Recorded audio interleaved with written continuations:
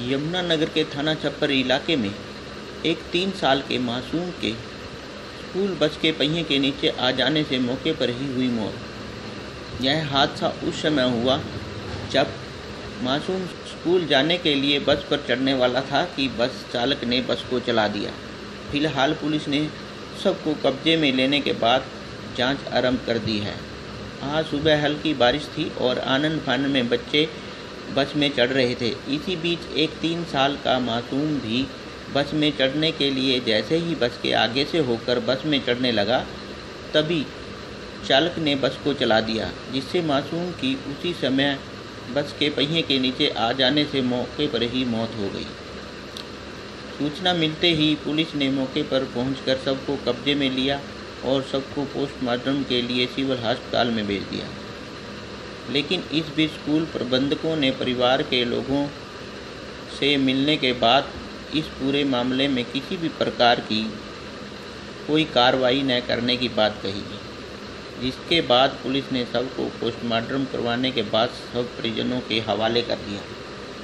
गौरतलब है कि ऐसे हादसे पहले भी कई बार हुए हैं, लेकिन उसके बावजूद इन मामलों में कोई भी समाधान नहीं हुआ।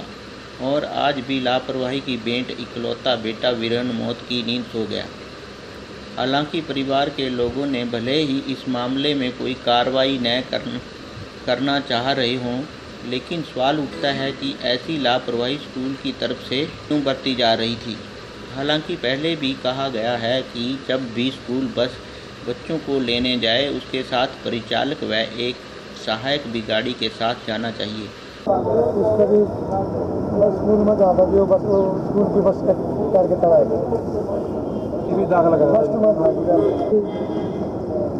हमारे कर्म गलतियाँ ससुराल होता थी रोज ही जाते हैं कोई, ड्राइवर की करे पुराना ड्राइवर था मैं ड्राइवर कोई कसूर नहीं काटता ठीक है ये कलेक्टर जो है कलेक्टर का कसूर काट दो उसने उससे कह दिया चल चढ़ गया बच्चा चढ़ा नहीं था बच्चा चढ़ा नहीं था ठीक है जी। स्कूल मालिक का कोई कोई मकसूर नहीं है। नहीं नहीं ठीक है।